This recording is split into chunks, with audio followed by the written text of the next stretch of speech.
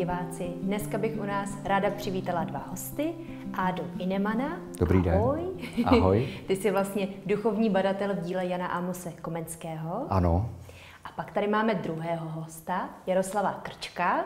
A ty jsi dirigent, skladatel, muzikant, vyrábíš nástroje. Prostě hudebník. prostě hudebník. A blíží se nám advent. A jak by měl člověk, nebo jakým způsobem by měl člověk prožívat toto předvánoční období? Základem je odevřít srdce, protože jednou za rok se stane, že eh, k planetě Zemi přiletí veliká nebeská flotila a andělé se stupují na zem. A to je pokyn pro všechny hudebníky a muzikanty, protože oni se okamžitě ujmou svých nástrojů a prožívají v podstatě to, co se jmenuje království nebeské na zemi. Je to tak, Jardo, ne? Je to tak, je to, je to to vnitřní stišení. No dokonce existují adventní písně, kde se chválí hospodin, Bůh, za to, že nám seslal na zem to světýlko. A ty písně jsou skutečně velice krásné. No ono totiž, když si to vezmeme, tak lidé v těch dávných dobách si zpříjemňovali život trošku jinak než my v moderní době, protože nebylo rádio, nebyla televize a jak se říká, co Čech, to muzikant, takže se prostě hrálo úplně všude. A vlastně i při těch pracech na poli si lidi zpívali, když uspávali děti, tak zpívali u kolébavky, a vlastně to zpívání bylo přirozenou součástí jejich života. Dokonce, když vytloukali obilí, tak tím mlátem měli na to přesně písničky, kdo co zpívá, tak aby se vzájemně nepobili. Jo?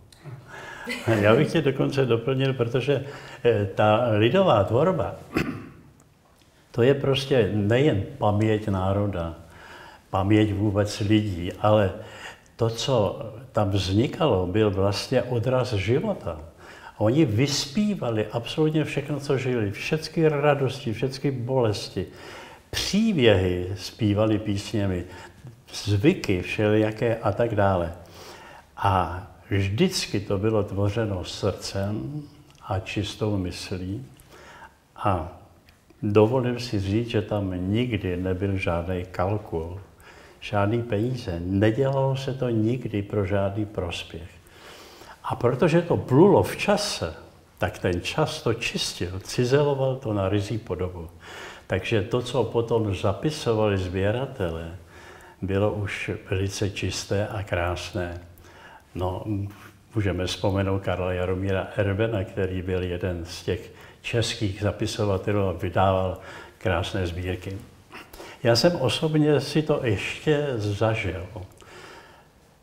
Můžu vyprávět takový nádherný příběh. Bylo už po Vánocích, vlastně po Novém roce, a my jsme s jedním kamarádem šli do terénu, bylo to na Šumavu, do městečka Stachy.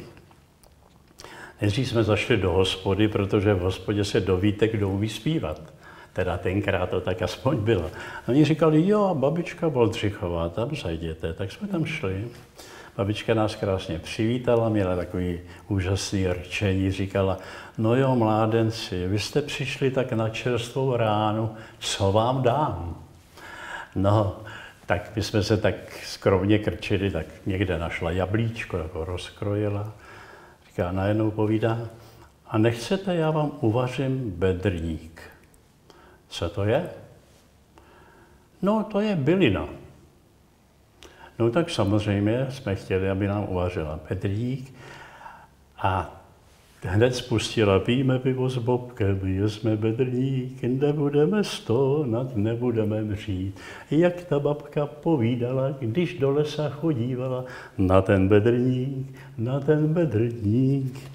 No a ten můj kamarád říkal, babičko, umíte taky nějakou koledu, nějakou vánoční píseň? Ona se chvilku zastavila, zamyslela a pak se postavila a spustila nádhernou legendu o narození páně. Začínalo to, když padá Maria po světě chodila, od města ke městečku noclehu hledala. Přišla ona, přišla k jednomu kováři, kováři, kováři, dej mi poležení. Poležení nemám, moc tovarišů mám. Ve dne v noci kují tři kovové hřeby. Víte, už tam byl ten velikonoční motiv. A to nás velice udivilo. Jak pana Maria ta slova slyšela, celá uplakaná odtud odcházela, přišla ona, přišla do chudého chléva, jak práh překročila, syna porodila. A teď je tam neskutečný konec té písně, který mě dodnes dojímá. Kovář měl chromé dítě, děvčátko, neměl ručičky. A to děvčátko bylo zvědavé a tak jde do toho chléva se podívat. A když pana Maria viděla to děvčátko chromé, tak tam zpívá Dotkni se jesliček, nabídeš ručiček. A ona běží domů a vypráví to svému kováři, svému otci, kováři. A tam je úžasná poslední sloka.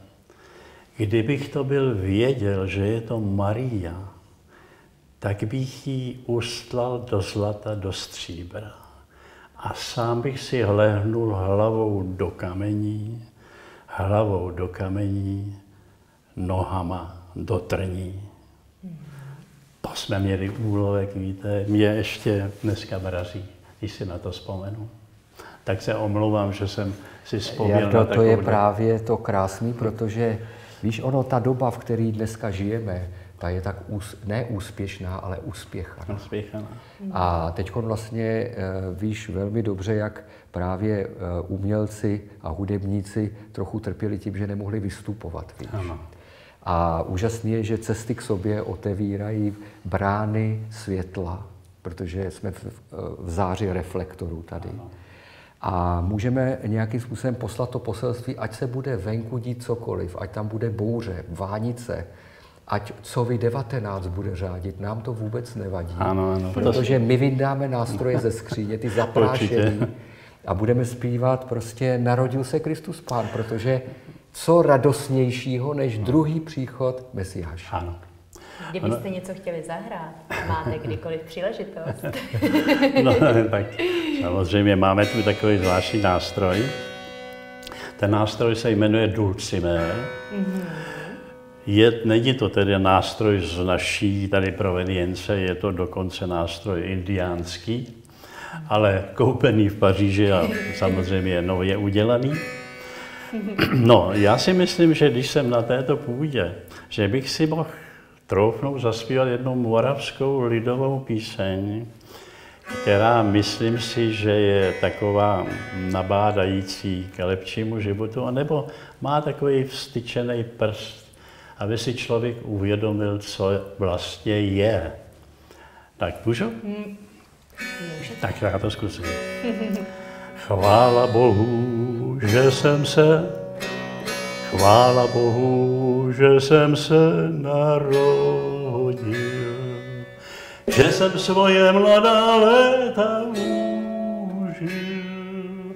Měl jsem v světě jen jedny jediné, odešli mě a už nemám jiné.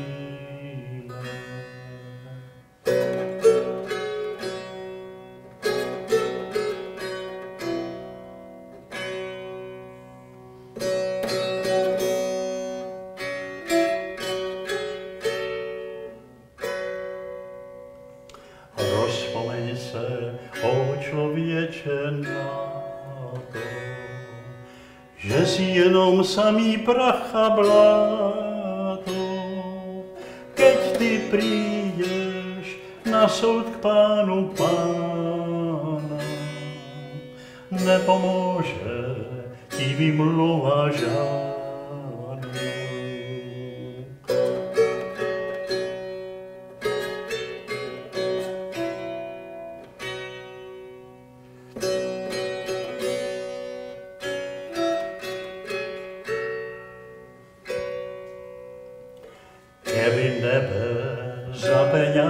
peníze bylo, mnoho chudáků by v něm nebylo, ale nebe za peněze není. Tam je chudák císařovi rovný, ale nebe za peněze není.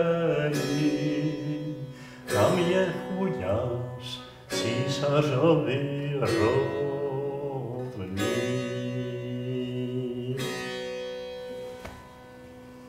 Děkujeme. To je úžasný nástroj. No, je to takový jednoduchý. Možná, víte, bychom mohli říct, že to je jednoduchá citera. Na Moravě mají něco podobného a tam tomu říkají kobza. A Ádo, máš ty pro nás nějaké vánoční poselství? Uh, ono je to totiž s těmi Vánocemi opravdu zvláštní, protože uh, jako vždycky, když nastane období adventu, tak se začne něco podivného dít právě v nás, v naší duši. Dokonce Indové nazývají duši slovem átma, čili netma. To je světlo. To znamená, že se najednou po tom roce, kdy jsme naš, naši, náš plamínek světla různě pohasínal pod všemi starostmi a útrapami života, tak najednou přichází chvíle, kdy lidi se těší, že si dají nějaký dárek. Těší se, že se uvidí s těmi, kteří celý rok neměli na ně čas. A nastává chvíle, kdy jsme na sebe poněkud laskavější a hodnější. Dokonce ve staré jednotě, protože jednota bratrská je takový zvláštní kvíteček na té naší velké louce. To vzniklo vlastně v době pohusických válek. Se sedm bratří rozhodlo, že vlastně vytvoří jakousi původní církev Kristovu, že se vrátí k těm kořenům těch apoštolů a že nebudou z toho vytvářet žádnou mocenskou a jinou organizaci. A řekli, že jediný, co pro ně je důležitý, je vlastně světlo boží a to je ten syn boží. Že jo? A je zvláštní, že skutečně jako to křesťanství má docela velmi trnité dějiny, tak tady v té české kotlině si vzali za cíl nenásilí.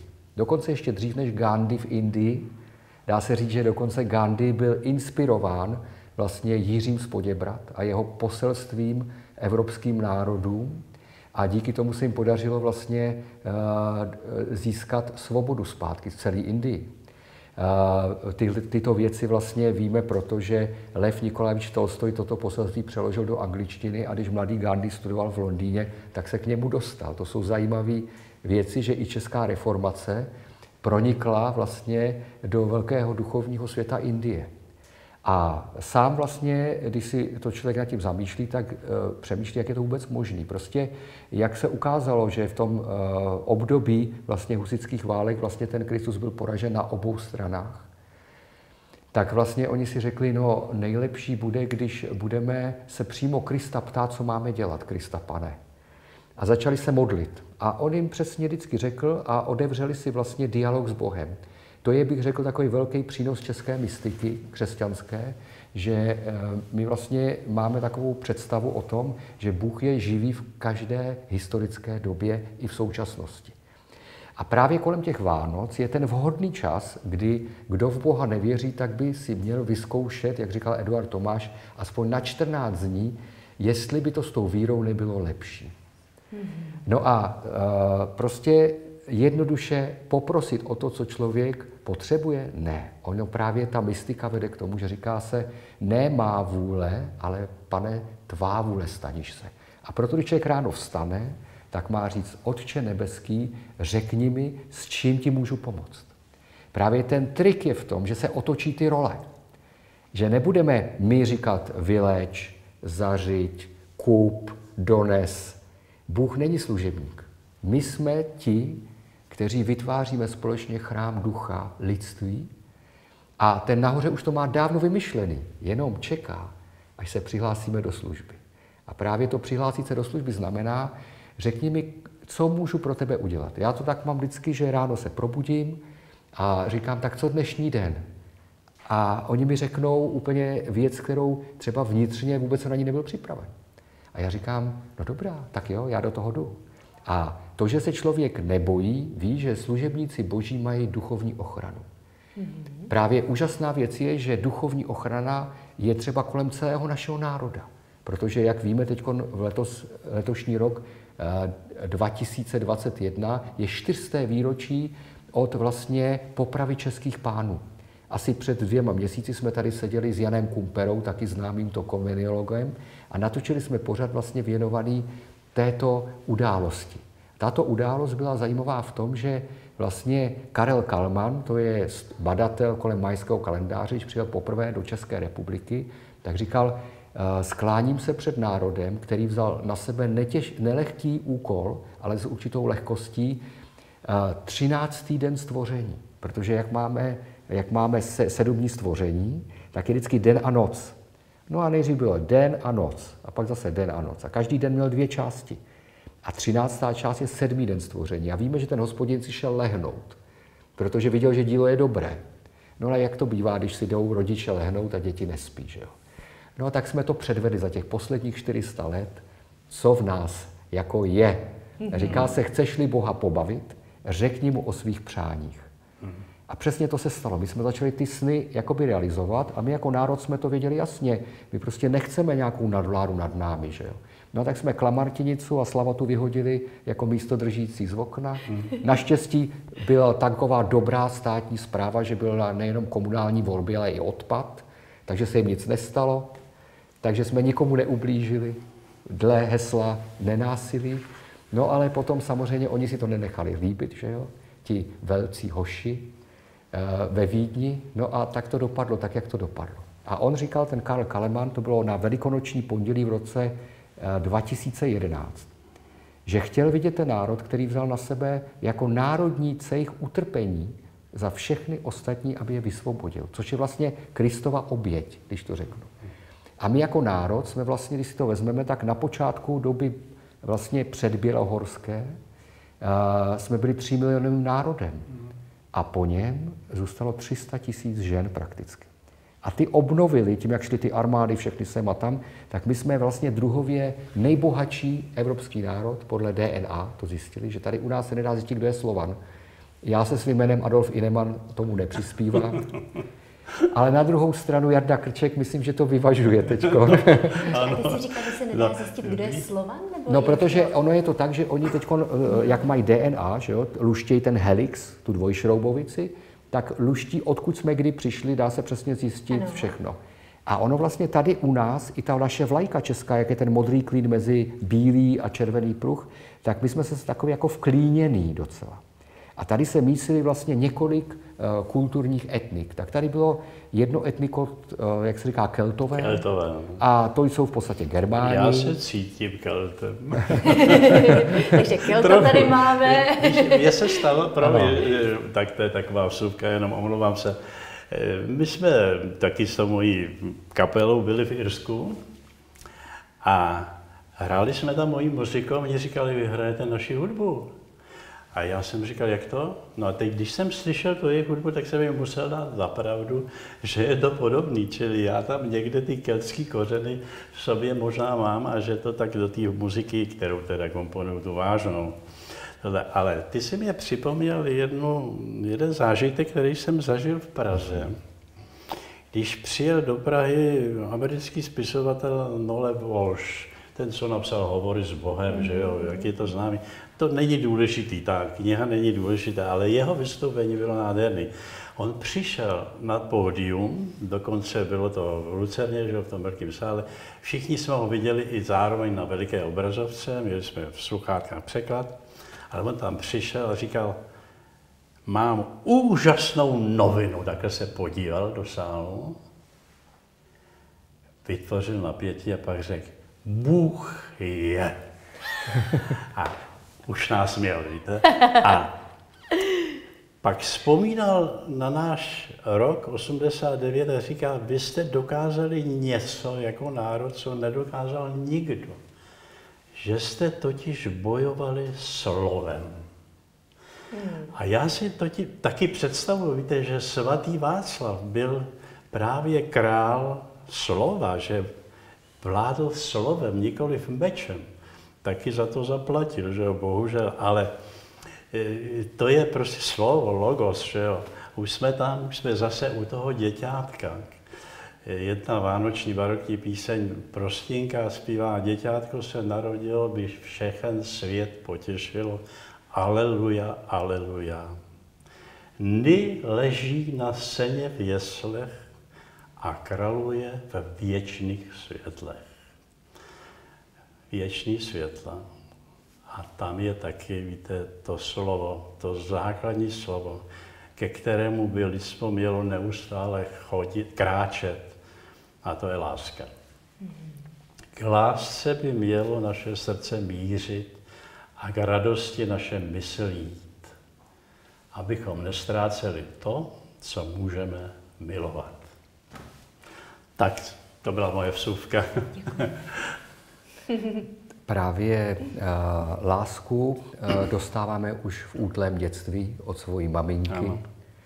A zároveň, uh, když si to vezmeme, tak všechno důležité v tomhle vesmíru, jako galaxie, je rodu ženského. Že jo? Kdybychom přemýšleli o tom, jakého rodu je slunce, tak slunce je středního, protože může mít jak tu mužskou, tak i tu ženskou složku, protože u dětí se to nedá pořádně rozeznat tak snadno. A staří májové měli představu, že existuje 20. den sluneční, vyvrcholení vlastně toho cyklu, a to se jmenovalo Ahau.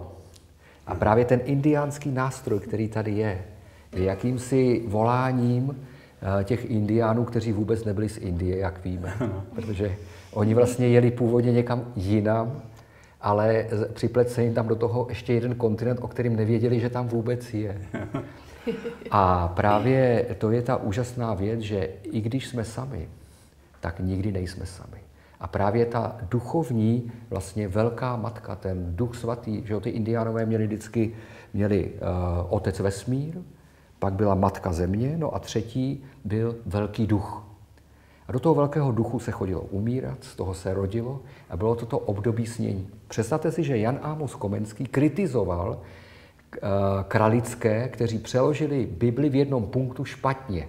A co tam kritizoval? No, to je zajímavá otázka, protože tam je napsáno eh, v té vlastně eh, první a druhé knize Možíšově, jak vznikl svět, že vznikl z ničeho.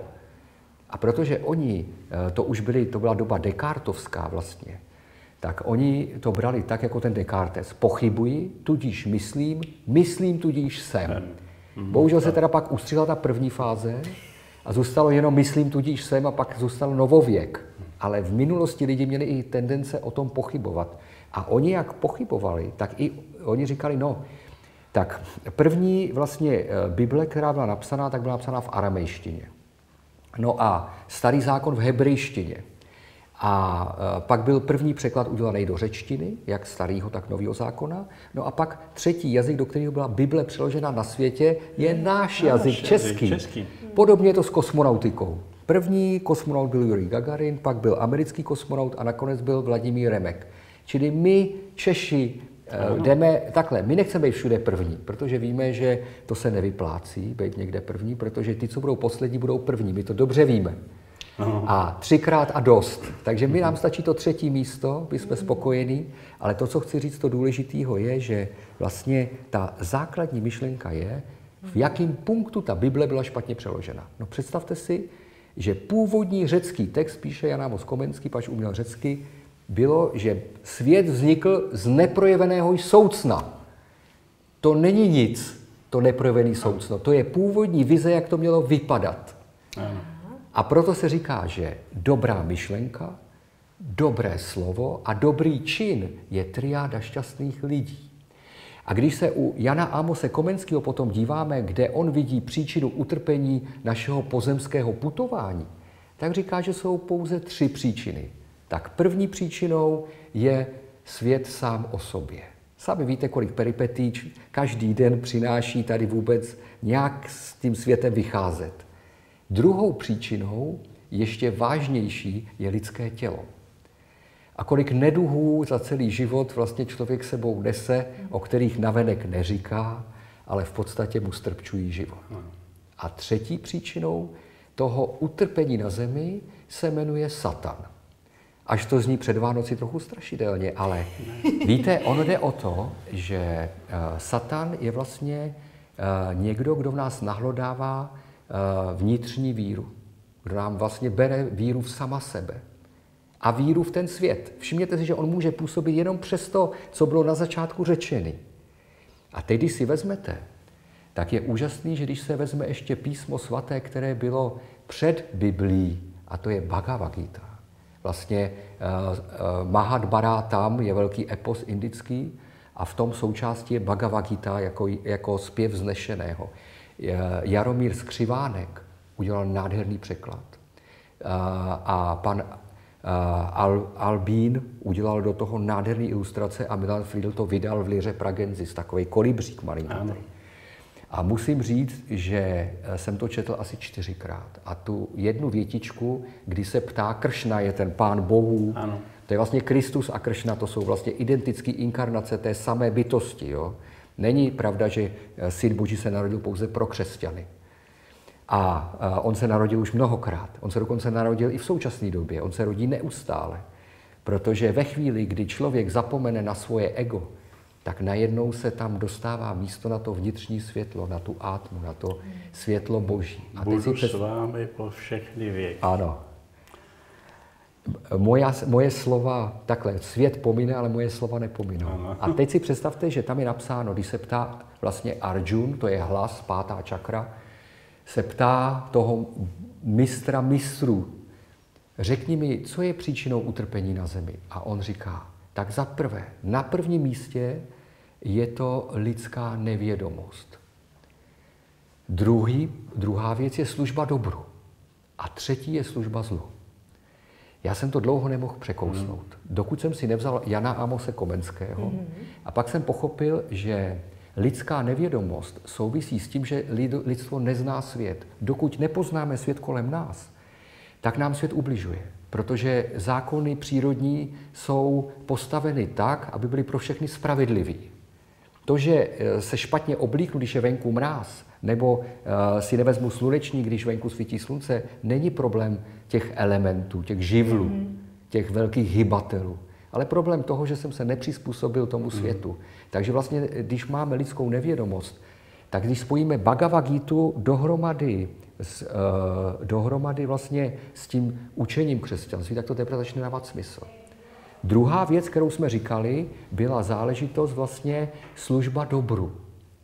No to je tak, že vždycky, když člověk jako lidské tělo tam vystupuje, tak my chceme pro sebe dobro, to znamená 5T, to je teplo, ticho, tišení bolesti, tekutiny a transport. Všichni by chtěli... 5T. Ano. A Jan Amos Komenský k tomu říká úžasnou myšlenku a větu. Ta je prostě boží, jak se říká. Mnoho lidí by chtělo dobře umírat, ale nikdo žít. A staří egyptiané, pět tisíc let před naším letopočtem, v jedné hrobce je vytesán tento nápis ve starém eh, vlastně kněžském písmu obrázkovém. Jednou polovinou jídla sytíme sami sebe a druhou svého ošetřujícího lékaře. Kdybychom jedli jenom tu jednu polovinu jídla a tu druhou bychom dali tomu svému ošetřujícímu lékaři, byli bychom zdraví automaticky. Protože my vlastně jíme až po záklopku. A to na Vánoce je velké nebezpečí. Proto všechny posluchače a diváky eh, televize Cesty k sobě varují před obžerstvím a opilstvím, protože to je největší metla. Naopak držte půst, aspoň na štědrý den lidičky zlatý. Víte, František z Asisi, že jo, asi byl, Asisi eh, řekl čtyři základní preambule, úplně úžasný. První preambule je, Otče nebeský, prosím tě, dej mi tolik trpělivosti svojí, abych mohl unést věci, které nemohu změnit. Mm-hmm. No, já... A druhá preambule. Promiň, promiň. Otče nebeský, prosím tě, dej mi tolik své odvahy, abych mohl změnit věci, které mohu změnit. To je můj největší hřích na tomto světě. Já rád nezasahuju do přirozenosti věcí. Ale ta odvaha umět věci změnit a třeba i nejenom ve své rodině, ale v sobě především, to myslím, že souvisí s tou částí. No, myslím si, že to je důležitý nejdřív v sobě. Ale my, my máme tady struny, my máme umění Ano. a my můžeme pomoci umění se snažit něco změnit. A to je velice důležitý. Já se tady taky odvolám na Komenského, protože my ho oba milujeme, víte. Já jako hudebník, já jsem zpracoval Labirint světa a srdce jako velkou symfonii. Mm-hmm. Bylo to provedené Českou filharmonií dokonce a je to na, na, na CD. Ano, to jsem, to jsem zkomponoval, no, tak prostě pardon. složil. No to je jedno, to se může říct, složil. A, a taky samozřejmě určitou kantátu a vši k poctě Karla, teda k poctě Jana Amose Komenského jsem napsal a tak dále, tak dále. Znám také písně, které ten které on vydal, že jo, ten amsterdamský zpěvník jeho, že jsou nádherné písně, kde jich asi 50 otextoval, jinak jsou to českobratrské melodie, úžasné. A on v tom labirintu, víte, k tomu umění říká nádhernou větu. V umění ne, aby se viděn byl hledej, ale aby se studi k Bohu blížil, Přitom čím prostší, tím dokonalejší budeš. A proto já miluji lidovou hudbu, protože ta je prostá a svým způsobem definitivní, čili svým způsobem dokonalá. A od srdce. Ano. Jardo, nedal by si nějakou krásnou písničku, te? No, tady mluv, mluvíme, mluvíme o Vánocích. Víte, já mám chalupu v Podkrkonoší. A Podkrkonoší je, pokud jde o vánoční tématiku, tak tam jsou ty nejobyčejnější, nejprostší, nejlidovější koledy a dokonce mohli přinést trochu humoru, tak dokonce i humorné. Tam se děvče postaví před eh, chalupu a spustí. Přišla jsem k vám na koledu, dejte mi syna. Nechce se mi samolíhat, je velká zima, mám roztrhanou peřinu, čím pak já se přikreju, jestli mě ho připovíte, tak zítra přijdu. Hotovo. Ale já vám zaspívám písničku, písničku takovou, kterou znám a eh, dokonce, víte, někdy člověk zažije takový silný zážitek, a když se mi to stane, tak já to hned umím z paměti. A to se stalo, bylo Silvestra, a byli jsme na chalupce, seděli jsme u krbu a dívali jsme se do toho ohně a víte, to já velice rád pozoruju, když už dohořívá kmen, tak jak se tam mění ty obrazce a přitom vás napadne, že uvnitř je ještě strom a můžete si představit, že má třeba paměť, že na něm zpívali ptáci, odolával vichrům, dešti a tak dále. A v této nádherné náledě někdo zaklepal.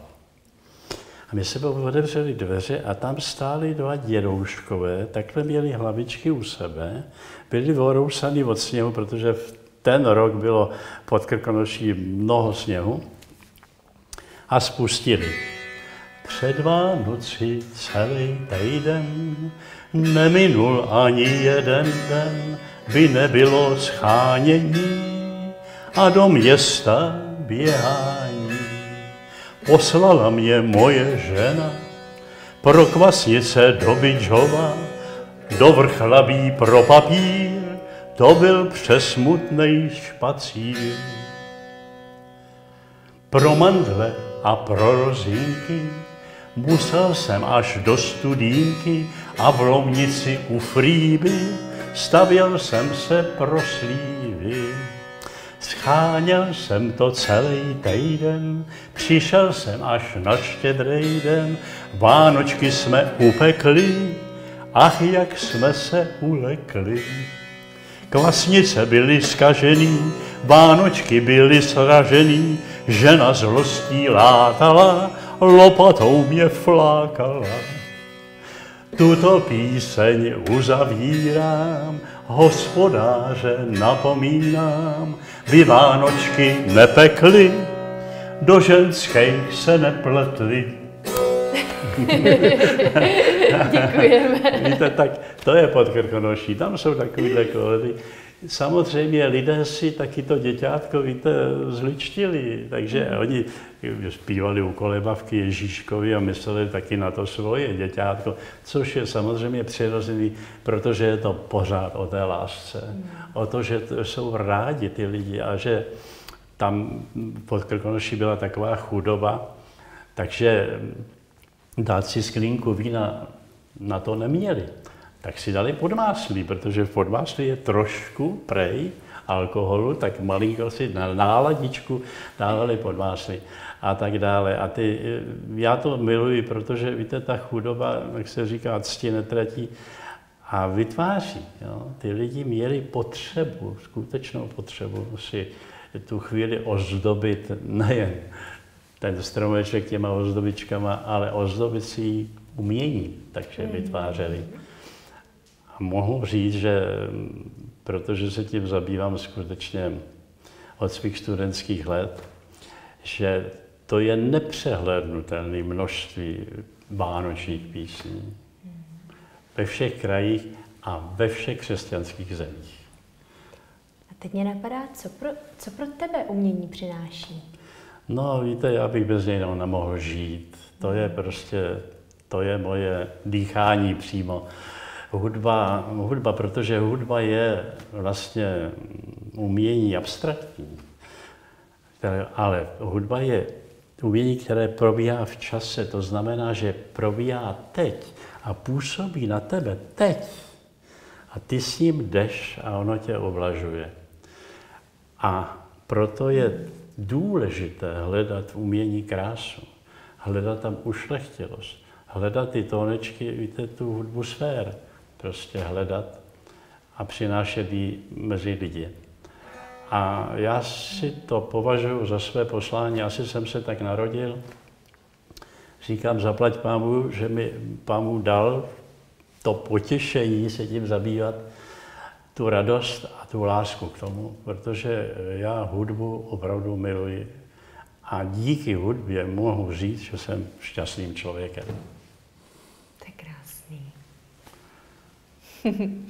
A ty miluješ bádání, veď? No, teď si kápla na hřebíček, eh, protože, víš, ono je to strašně zajímavý. Eh, existuje vlastně makrosvět a mikrosvět.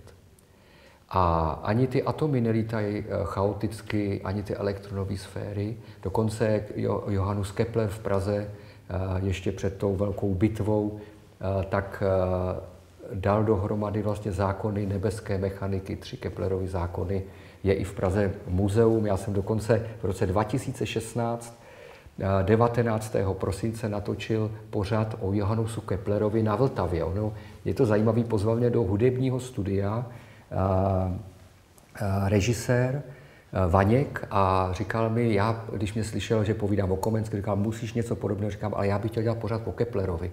Harmonie sfér, to mě celý život prostě naplňuje, protože ten vesmír není tichá, prázdná nádoba, ale neprojevený soucno, jak jsme si říkali.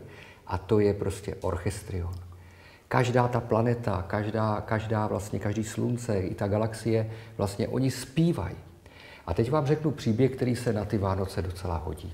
Můj tatínek eh, byl velký muzikant a eh, jako eh, když skončila druhá světová válka, tak hned založil Dixieland, byl kapelníkem a když hrálo něco Studio A nebo Ferda Havlík, tak maminka to natočila na magnetofon Sonet Duo. Ano, to, to pamatuju. A už večer tatínek, když přišel z, uh, vlastně uh, z hraní, tak to hned přepisoval do partitru a druhý den to hráli. To, co běželo v, v rádiu, tak hned druhý den prostě hráli.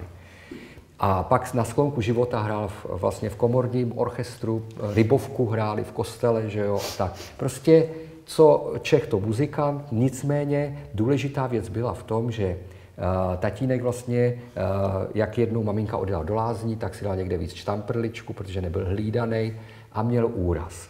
Dostal se do nemocnice, krvácení do mozku a prostě komplikace. Jo?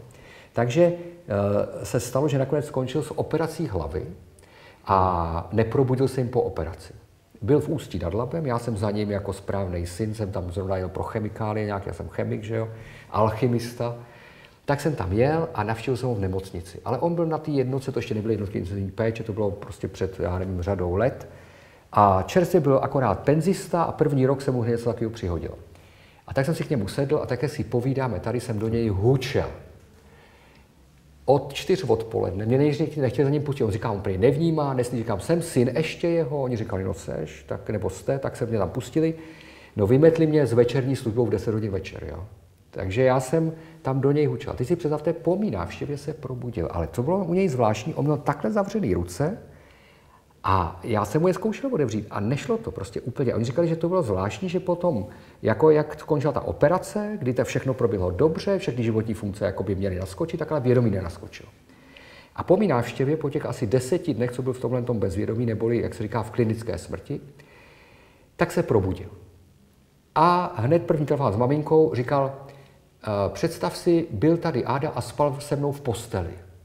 On, tak maminka říká, to je nějaký nesmysl, ona neviděl, jsem tam byl, prostě, prostě začalo to být velmi mystický. A teď on ale najednou se stala zvláštní věc, že asi to trvalo, trvalo to další tři měsíce, než jsme se zase k němu nějak dostali a tak. A já mu říkám, tatínku, můžeš mi říct, co si v těch rukách držel?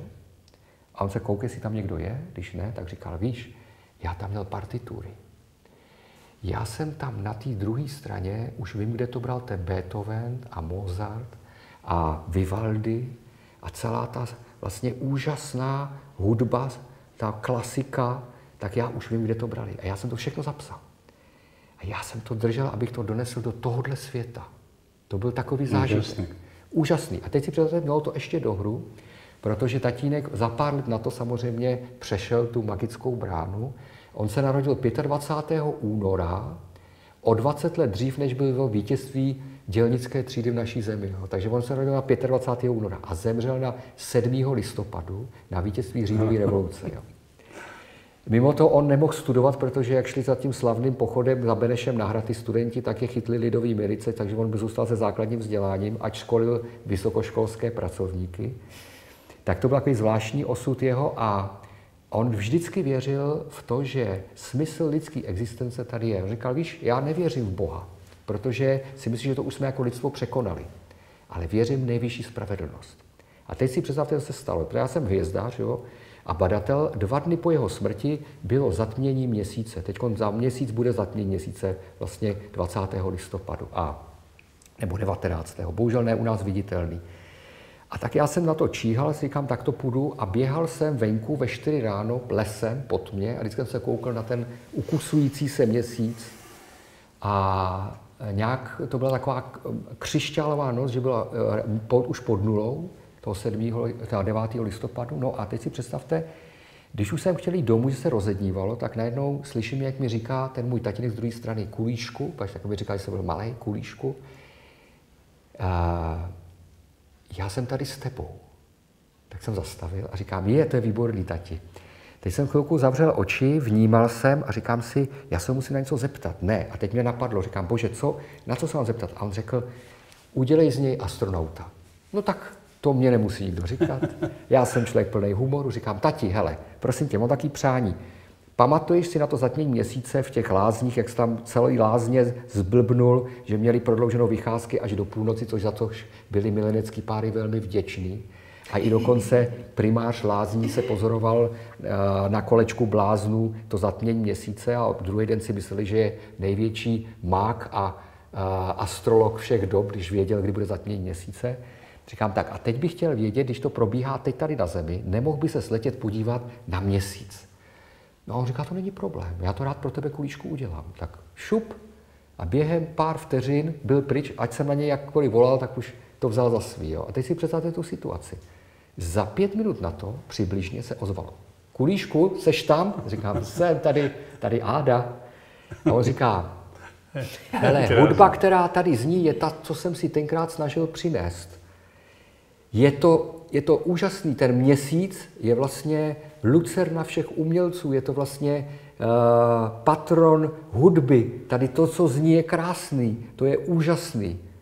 A chci ti ještě říct jednu věc, že tady neprobíhá zatmění měsíce, ale slunce, který jsme viděli u toho Mnichova tenkrát, hmm. v roce 1999. Ale je to jiný, je kolem toho stínu duha. To mě znepokojilo. A zároveň ujistilo, že ten přenos mezi záhrobím a zemí je opravdový, protože po pár letech jsem viděl, tady byl hlavní šéf, konstruktér z NASY a ukazoval fotky z měsíce z, e, země, jak je zastíněná vlastně se sluncem a tam skutečně ta atmosféra vytváří rozklad světla jako normálně ducha vznikne kolem toho. Takže na základě toho jsem uvěřil, že ten, to spojení s tatínkem bylo správný. Posílil to ve mně sebevědomí a říkám, tati, jestli mě slyšíš, prosím tě, nemohl by se doletět podívat, jak to vypadá na slunci? A on říká, to není problém. A teď to bylo čtvrt hodinka ticho. Už jsem chtěl jít domů, už jsem odemykal klíče u toho malého paneláčku, kde jsem bydlel a najednou on říká, počkej, tebe to nezajímá. A já říkám, zajímá. A on říká, hudba, která tady zní, ta už nejde zaznamenat do žádného notového papíru. Ta má tolik rejstříků, že se na to vůbec ani lidský zpěv už nehodí. To jsou andělský zpěvy. A teď ti musím říct, že když jsem se ke slunci blížil, vítali mě tady lidi. Bytosti nám podobné. To je město. To není jenom slunce, který ozařuje lucerna světa, ale to je město měst v křišťálu a ve světle oděné. Hmm. Tak vám chci toto poselství dát do toho příštího roku, který má tři dvojky, 2022. Ano. To je neuvěřitelný datum, protože ty dvojky znamenají dualitu. Dualita znamená určitou formu lásky, protože představte si, jaký by to bylo, kdybychom byli Bohem, byli bychom ve věčné samotě. Protože si myslíme, že Bůh je muž. To je ale omyl, protože se to jmenuje to, v co věříme, náboženství. Nevěříme v nábomužství přece, ale v náboženství. tak to by A právě, právě, když si vezmete i sluneční soustavu, tak to město měst je vlastně naše matka. Protože i Achnaton, ten velký hledač pravdy, který přišel s první myšlenkou jedno Boha, čili monoteismus. Teos je Bůh a mono je jeden. A polyteistické náboženství vlastně neexistuje, protože víte, že jednička je, nepatří mezi prvočísla ale jednota bratrská patří k nám domů do Čech. My dokonce si myslíme s Jardou, že uh, víte, všude, kde je dneska kroužek UU, je taková uh, ulice v Praze UULů. Tam jsou samý U, jenom jedno UULů. Protože tam, kde se píše dneska U s kroužkem, to původně bylo O. Takže slovo Bůh bylo Boh. A víš, kolik písniček je, že se zpívá původní vlastně boh. Ano. boh. Nebo když si vezmete lůžko, ložko, hmm. to je mnohem jemnější. A nebo... No ještě to na východě, že ano. tam to zůstalo. Hmm. Takže já si myslím, že vlastně to U s kroužkem a e, je něco, co je nám velmi blízké. Hmm. A je potřeba vědět, že Samozřejmě s těmi světelnými bytostmi přichází i ty nesvětelné bytosti, temnota. Mm. Temnota je nevědomost, to už ten Komenský vysvětlil. Ale pokušitel, který nám dává občas, jak se říká, nahlédnout i do naší vnitřní samoty. Mm. A právě Vánoce je období, kdy e, lidé někteří bývají sami, zvláště ti, kteří nemají dobré vztahy. Když bychom dokázali vyléčit naše vztahy, to znamená prosit láskou. Já jsem zrovna minulý týden po letech se rodiče dočkali náhrobní desky. Jo. Trvalo to pár let, pandemie to trošku spozdila, ale my jsme si řekli jako sourozenci, ne, nic neuspěcháme.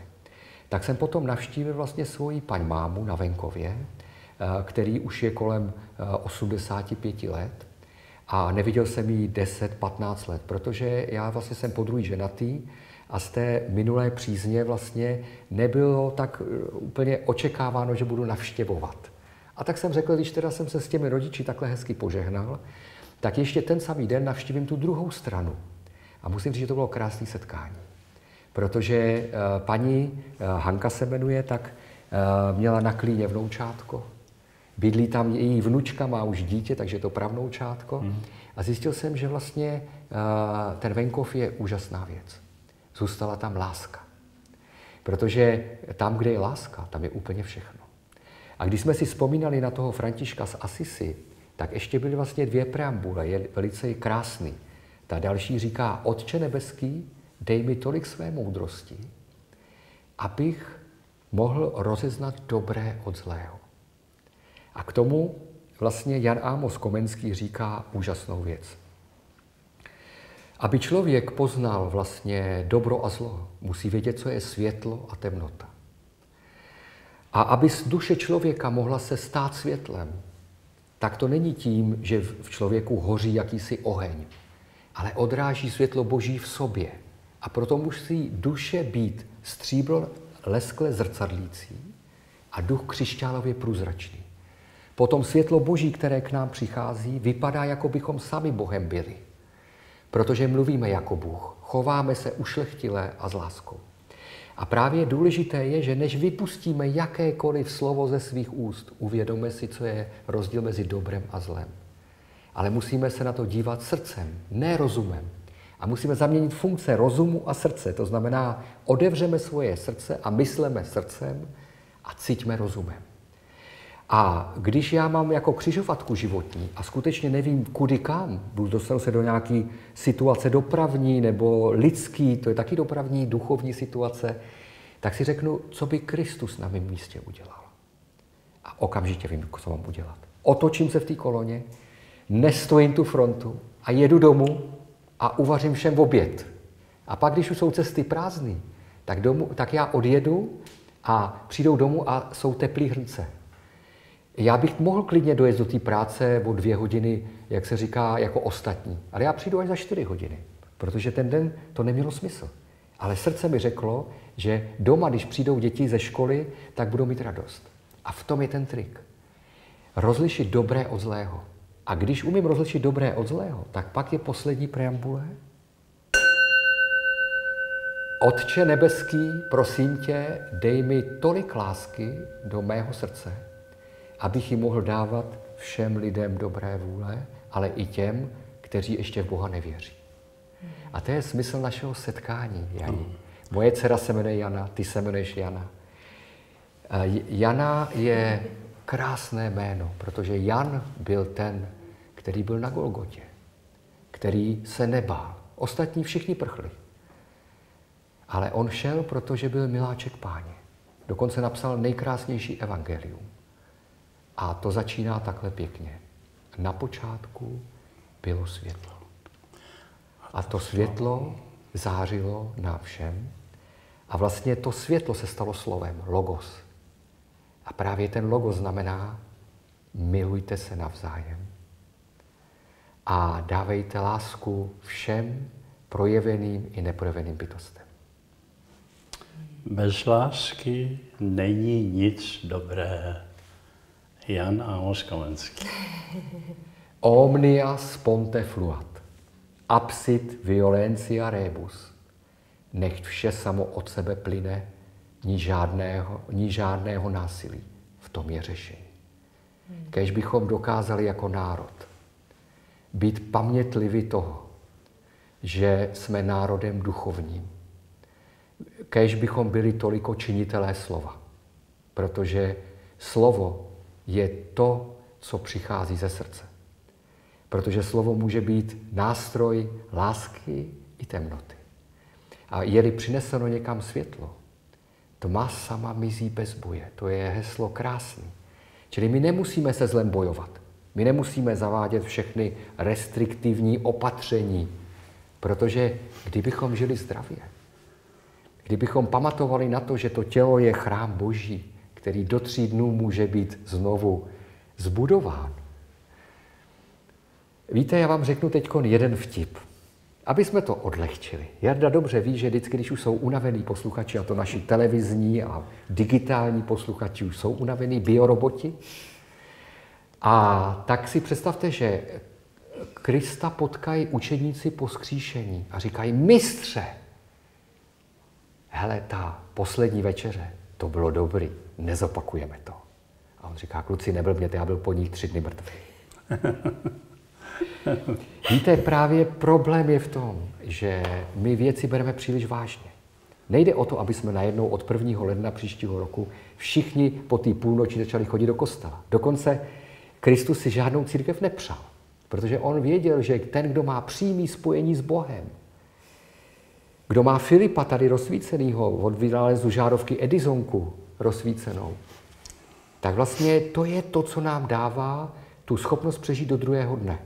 A další důležitá věc je, že my sami o sobě skutečně ničeho nedosáhneme. Teď si vemte, jak by to bylo, kdyby jsme byli jenom sami v sobě. On to dokonce nazval slovem samosvojný. Protože ono, když někomu řeknete, že je sobec, tak to nezní moc dobře. A když řeknete, že je samosvojný, to zní vznešeně. Rozumíte? To je jako ta fortuna v labirintu světa, rájí srdce, kde přijde ten král Šalamoun, rozrazí ty dveře eh, do té hodovní síně a řekne, že se snažil vymítit všechny zlořády světa, ale že eh, opilství se teď jmenuje, jmenuje se vlastně úplně jinak, alkoholismus. Obžerství se jmenuje korpuspulentní postava, rozumíte? A že najednou ti staří nepřátelé, které on porazil, vzali je jiné jména a převleky a jsou tady a nedají se je hmm. vymítit. A šel k té královně a žádal o slyšení a ona dělala, jako když tam není. Tak přiskočil a strhl jí škrabošku z obličeje a ona tam byla smrt. Poutník, který to viděl jako pozorovatel, spekuláris latinsky, se úplně zděsil. Vběžel z té místnosti Fortuny štěstěny, že to je jenom pozlátko vnější jakési. A tu úplně se zhroutí a sedí na popku, je nešťasten, protože najednou zjistil, že všechno je podvod a šalba. Hmm. A najednou slyší slovo takový tichonky. Co hledal ve světě pokušení a kde hledat měl? V chrámě. A v kterém chrámě? Chrám je živém, které Bůh sám stvořil v srdci tvém vlastní. Tak jdi do svého srdce a zavři za sebou dveře. A to Komenský udělal. Hmm. A ten hlas říkal, vrať se domů. No. A on teď se rozkoukává v té vnitřní se mám vrátit z té mrákoty. no, jo. A to zhudebnil, tak to no. Víte, že jsem měl proroctví? Že to musím udělat? To byla babička v Provensku pod Troskami, bydlela jasnovidná odmala, měla to vrozený a nevěděla nic, byla velmi prostá. Říct Mozart, tak nevěděla, kdo to je. A já jsem se z ní znal, já jí říkal tetinko, ona mi říkala Jaroušku. A, a já jel takhle v době, kdy jsem uvažoval, že ten labirint světa zhudebním a nevěděl jsem jak. Víte, já se, mě to připadalo, jako když stojíte před horou vysokou, na jejich špic vůbec nevidíte a chcete tam vylézt přitom. Tak v této době jsem ji navštívil a ona takhle byl plot a zahrádka a tam měla dům a z toho domku vyšla ven a když mě viděla, že tam stojím, tak už na mě křičela, no že už jdeš, už se tě nemůžu ani dočkat, tak hezky pojď, to něco uvidíš. Tady se posaď a dávej pozor. Šla do almary, vyndala sešit a z toho vytáhla papír a řekla, víš, já jsem tady onehda byla sama, už byla tma, něco ke mně přišlo, řeklo mi to, piš, to nemusím ani rozsvítit, tak jsem to napsala, tady jsem ti to obsala, protože se to týká, já tomu nerozumím a ty mi to musíš vysvětlit. Já to řeknu stručně teď. První věta byla, to mě skoro zamrazilo, když jsem to četl. Jsem Ludvík van Beethoven. Jak jsem tohle řekl, tak ona říká, ty by si mohl vědět, kdo to je, já ho neznám. Říkám, no tetinko, to byl skladatel 18. století. No, no, no, tak čti dál. Byl jsem skladatel a teď tam byla vomáčka, víte, o něm, naprosto pravdivá. A po této sestře vzkazu, jako mě, abych to, co chystám, uvozovky, Labirint světa je srdce od Jana Amose Komenského, abych udělal, že to bude mít veliký úspěch a hluboký význam. No a abych této sestře poděkoval za to spojení, že u mě stojí dva, který mi budou našeptávat A pomáhat. a tak dá pomáhat. Víte, já jsem se do toho pustil samozřejmě s velkou vervou. Kdybych mohl psát každý den, tak jsem to měl za měsíc hotový. Samozřejmě já to psal půl roku nebo tři čtvrtě roku, ale nemůžete o toho, toho sedět po každý. A pro ten vůbec největší orchestr, sbor, recitátora, no prostě asi mě to opravdu někdo diktoval a možná, že u toho byl náš milovaný Jan Amos Komenský. Ano, protože Jan Amos Komenský je iniciály JAK neboli jak. Rozumíte, tam je řešení. Obecná porada o nápravě věcí Takže lidských. mi řek, jak to mám Ano, udělat. deréru, To by mě nenapadlo, to je úžasný. Jinak, Jardo, já ti řeknu ještě jeden příběh, který se k těm Vánocům váže. Víte, že děti si píšou vždycky ty psa, přáníčka k Ježíškovi. A protože to vždycky tak je, že před Vánoci, tak srdce byly asi dva roky, jmenuje se Amélie, a tak to tam takhle vypisovala všechno, co chce k těm Vánocům. Já tam nesměla koukat, nechoď sem a tak. Pak to nalepila na balkónové dveře, tak jako slepený dokonale. A já jí říkám, a mísku, můžeš mi říct, jak ten Ježíšek může rozumět všem jazykům všech lidí, když mluví třeba německy nebo portugalsky, španělsky, já nevím, svahilsky.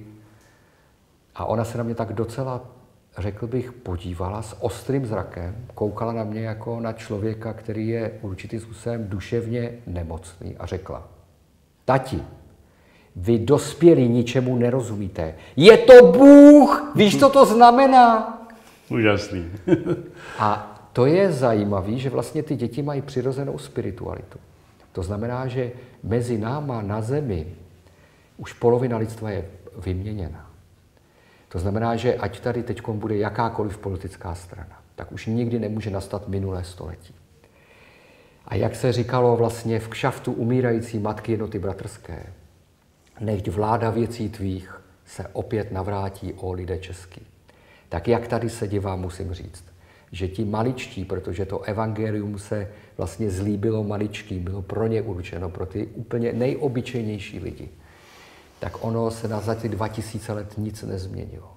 Ale nám jako národu to dalo obrovskou sílu překonat všechna protivenství tohoto světa, dokonce i protivenství v nás. A když víte, tak eh, samozřejmě ty Vánoce jsou vždycky daný předznamenáním Mikuláše, který chodí s ochrankou čertu a andělů. A víte, že ten český čert je úplně jiný než ten světový. To je dobrák, český A on je dobrák, on je to takový bambula v podstatě. Dělal jsem ho za mlada. čert. A Jardo, ty víš, kolik písniček o tom No je, čertovi, je, jo? všichni čerti tancovali mezi nima pámbů. E, Belzebu vyskakoval, až se chytal trámu, to je nějaká písnička Ano. dokonce. A právě já si myslím, že musíme být pamětliví toho, že skutečně jsou některé věci, které nejsou příjemné v životě.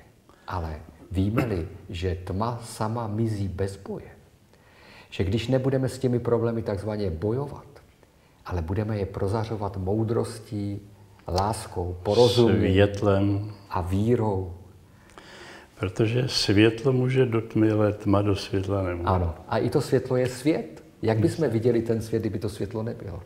Takže je to úplně jasný. Hledejme světlo i v nejhlubší temnotě, snášejme vše pro světlo. Amen. Moc krát děkujeme, že jste za náma dneska přijeli a doufám, že si užijete čas vánoční. Děkujeme. My děkujeme. Jani, že si nás doprovodila do království nebeského, protože tam člověk sám nevstoupí. Jedině andělé mají povolený vstup. Ať je televize cesty k sobě, nejenom v tomto roce, ale ve všech rokách nebo rocích ještě budoucích.